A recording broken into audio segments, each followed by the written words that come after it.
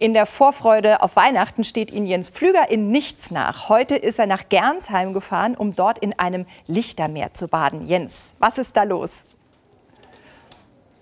Ja, hier geht's ordentlich rund. Mit Weihnachtsstimmung kann ich sagen. Also im ersten Moment habe ich mir gedacht, das ist hier ein bisschen besser wie am Frankfurter Flughafen. Die haben so viel Lichter. Ich hatte schon Angst, dass die Flugzeuge hier landen. Es ist wirklich ein absolutes Lichtermeer. Und wer jetzt noch nicht in Weihnachtsstimmung ist und ganz schnell in Weihnachtsstimmung kommen möchte, der kommt am besten hierher nach Gernsheim zum Hundeverein. Denn die machen jedes Jahr aufs Neue dieses wunderbare Lichtermeer.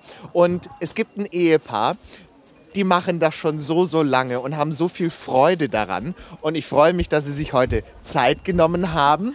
Die beiden stehen jetzt bei uns. Ich freue mich sehr. Vielen Dank, dass Sie sich heute die Zeit genommen haben. Was begeistert Sie denn am meisten hier an eurem Hundeplatz mit den Lichtern? Am meisten begeistert uns dieser wunderschöne große Zuspruch der Zuschauer. Die Kinder begeistern uns, die hier durchlaufen, die in jedem Häuschen, vor jedem Häuschen stehen und staunen. Und dann natürlich auch diese Community, die sie haben, äh, die Gespräche, die hier stattfinden, ja, dieses weihnachtliche Feeling. Das ist absolut hier. Herr Wunderle, jetzt müssen Sie mir mal sagen, ich habe vorhin mal angefangen zu zählen, habe dann irgendwann aufgehört. Wie viele Lichtchen habt ihr heute oder besser gesagt in diesem Jahr hier aufgebaut?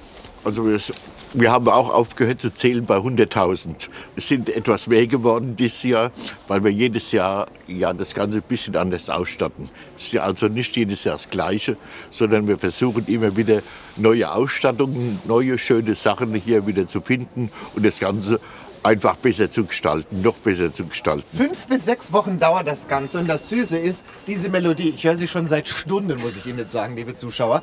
In jedem dieser kleinen Häuschen, 14 sind es insgesamt, gibt es Themen, also 14 Themenhäuschen, wo man sich das Ganze anschauen kann. Und dieses Jahr ganz, ganz neu gibt es die Wallfahrtskirche hier. Das hat mir die Frau Wunderle vorhin gesagt. Herr Pflüger, gucken Sie sich's ganz genau an, denn das ist nicht nur die Kirche von außen, sondern auch hier drin. Da steht auch ein Pfarrer, da gibt es einen Altar und das Säckchen, was auf dem Altar liegt, wurde mir auch gesagt, ist ein altes Taschentuch.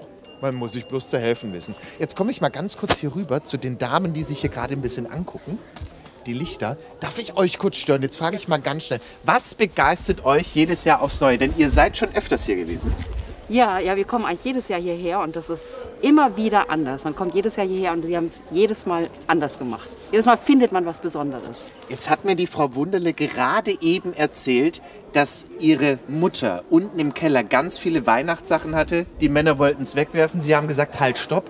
Wie ist es denn für Sie zu sagen, ich gebe das Ganze jetzt hierher und jetzt immer mal wieder in diesen kleinen Ecken ein bisschen was von sich selber zu sehen?